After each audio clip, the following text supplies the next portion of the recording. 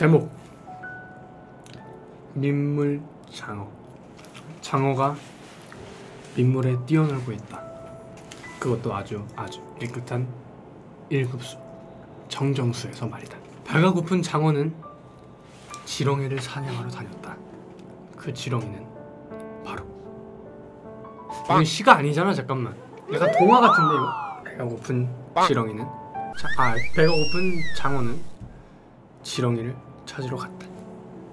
어머나, 너무나 맛있어 보이는 지렁이야.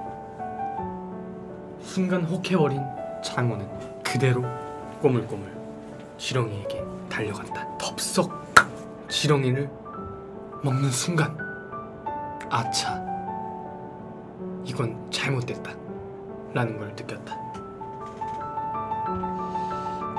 알고 보니 그 지렁이는 한 낚시꾼이 던진 미끼였다. 정신을 차려보니 웬 장어 같은 옷을 입은 남자가 내 앞에 있다. 그의 입속으로 들어간다. 아, 좋은 삶이었다.